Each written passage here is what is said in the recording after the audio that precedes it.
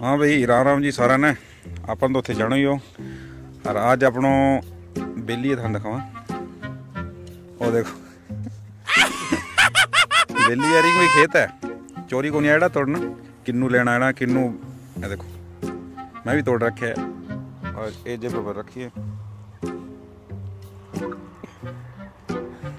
आज बेली है क्या चलो किन्नू खा गया मैं चलो ठीक है स्पेशल है किन्नू आज और तोड़ूंगा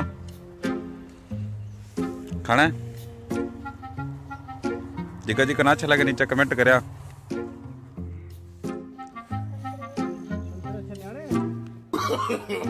no, no, no, no.